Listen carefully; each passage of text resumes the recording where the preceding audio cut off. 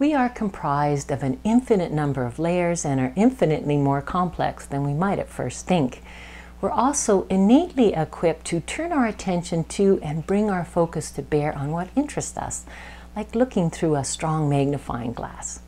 When we're absorbed by what's before us, everything else literally ceases being substantial, like being so engrossed in a movie or a good book that we no longer see or hear the people around us and time essentially stands still. You know it's true. We have the same ability to focus on our own and other people's potential and beauty or narrow in on imperfections and defects. The tendency to see the worst in ourselves and others was learned at the feet of unhappy people who convinced us that our faults were the cause of their unhappiness, the understanding being that if we could behave perfectly, they would be happy.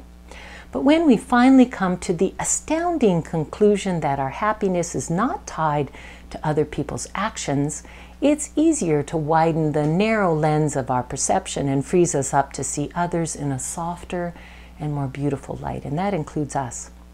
At this juncture, I'd like to offer something for your consideration, something you already innately know. When we look at others and see their strengths and or weaknesses, we're holding up a mirror in which is reflected the way we view ourselves.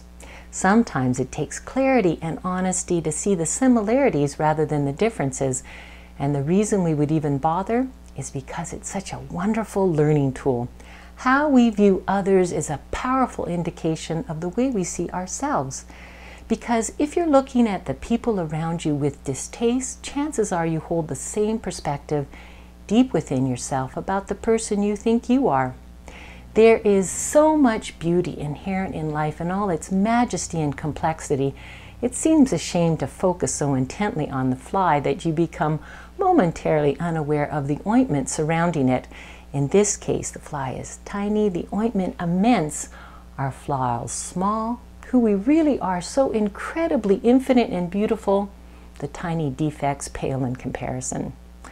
Right now, in this moment, the opportunity presents itself for you to identify with the smallest and ugliest of details or with the best and brightest of who you are, which, if you will let it, will shine its beauty so bright it can't help but shine through and burn away all the impurities you thought were a terminal part of you, but they're not.